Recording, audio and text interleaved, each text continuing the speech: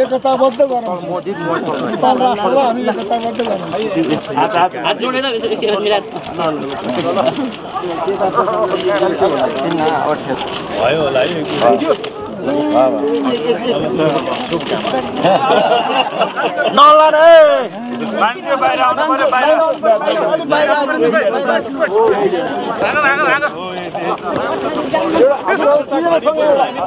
तिनकाल भोग्नु सभामुख हुनुहुन्छ संविधान सभाको अध्यक्ष हुनुहुन्छ अब उहाँले जहिले जुन किसिमले देशको व्यवस्थाको लागि लोकतन्त्रको लागि नेपालमा परिवर्तनको लागि यो सङ्घीय लोकतान्त्रिक गणतन्त्रको समावेशिताको व्यवस्था ल्याउनको लागि उहाँको पनि मेरोभन्दा कम भूमिका छैन अब तपाईँले पनि बोलिदिनु पर्यो उहाँको बारेमा।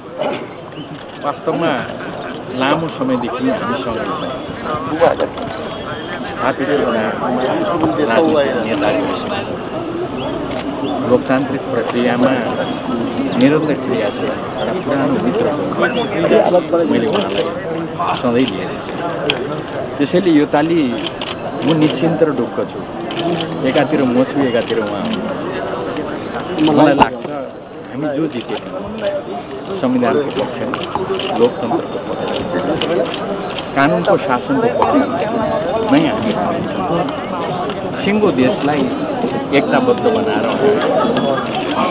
मधेसदेखि हिमालसम्म सबैलाई एकताबद्ध बनाएर अगाडि बढ्छौँ। त्यसैले आज म साह्रै खुसी छु।